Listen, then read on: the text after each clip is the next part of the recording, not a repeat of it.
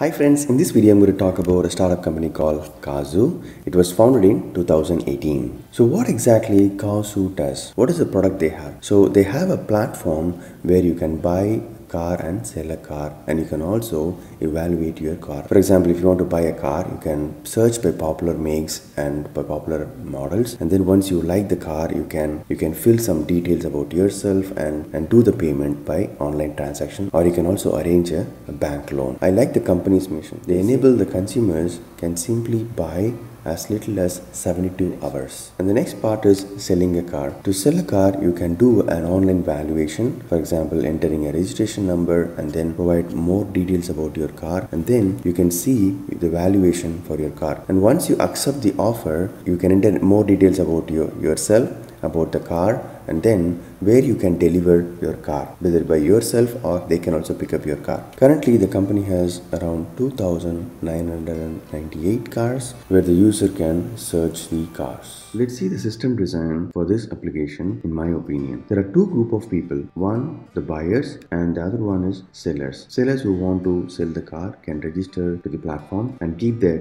car details so that it can be published to the buyers. Buyers come to the application register themselves and start searching by using filters. So usually in the system design, I would prefer to ask more questions to the interviewer even before I start modeling them. For example, here if I look at the data, how many cars are available? Is it like 1 lakh or thousands or millions? So we can ask more questions about how much data system has to handle. So in this case, the number of cars is 2998 currently. So in this application, user reads will be more than the user write operation. For example, per day, maybe the number of sellers might be 50, 50 sellers will register to the system, whereas the buyers will be more, maybe for hundreds or thousands search for the car. So user read operation is more than the user write operation. That means we might have to scale the user related operations. That means the demand services might have to be scaled. The supply services can have little less computing power. If the search is more often, we can also use cache in the demand services. During the interview, we can also expand this demand services. Like we can go in depth what exactly these demand services, what are the modules available inside the demand services and each one's responsibilities. Now let's look at the uh, technology stack used to build this application. So it looks like for the backend, they're using